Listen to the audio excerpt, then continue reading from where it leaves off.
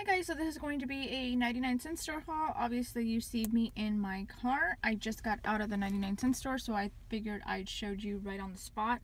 That way I don't, you know, sometimes I get home and especially after I pick up my little one and just life gets hectic so I figured I'd showed you here.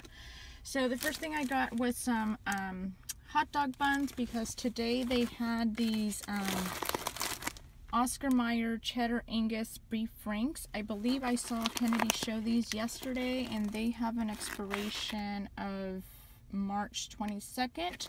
So I did buy two packs. And then today they also had lunch meat, which expires like in the next week or so. But I still grabbed two packs. One of the honey or maple honey ham and the other one's just the honey ham. Really what's the difference. I guess the maple part.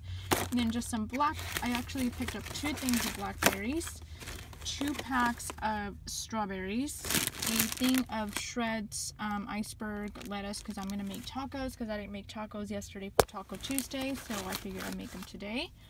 And then talking about tacos, I found these right where you pick up like your produce stuff. They were right above like the strawberries.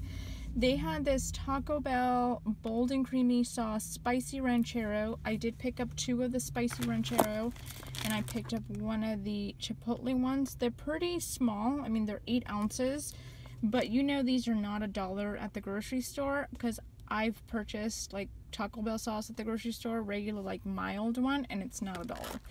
And I don't know if I mentioned the um, hot dog buns to go with the um, cheddar, what are these? Cheddar Angus beef franks.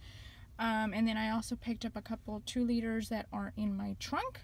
So as you can see, pretty small, 99 cent store haul. I figured today they would have some good stuff, but as you could see, I didn't pick up very much. Um, they were supposed to get a truck yesterday afternoon, but they were pretty wiped out. So I don't know if they got it yesterday afternoon and just it kind of ran out throughout the afternoon or they just didn't get a lot. But this is all that I found today. So I hope you guys are having a great Wednesday and I will talk to you guys later. Bye.